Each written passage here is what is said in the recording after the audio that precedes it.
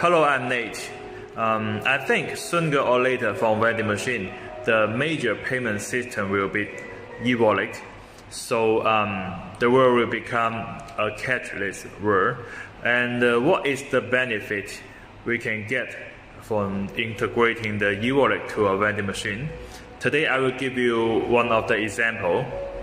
This vending machine is just same size as the normal one, but by integrating the e-wallet, the capacity of the vending machine is 20% up. Normally, the slave box is where we install the bill validator, coin changer, or card reader, and now we can make it spiral like this. So the capacity is greatly increased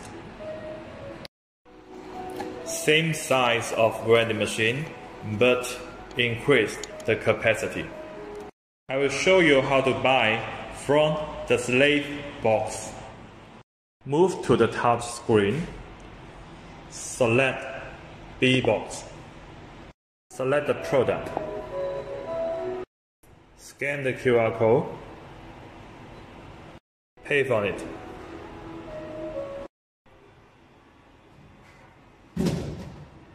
We can collect the product from slave box pickup here.